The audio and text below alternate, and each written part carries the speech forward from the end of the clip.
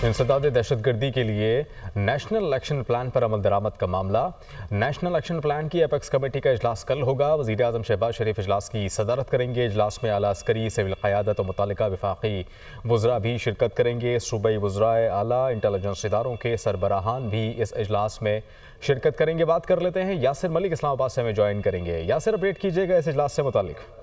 जी इंसदाद दहशत गर्दी के लिए नेशनल एक्शन प्लान पर अमल दरामद का ये मामला है। नेशनल एक्शन प्लान की जो एपिक्स कमेटी का इजलास है, वो कल होगा और ये इजलास दो बजकर तीस मिनट पर दोपहर होगा। वज़ीर आज़म शहबाज शरीफ इजलास की सदारत करेंगे।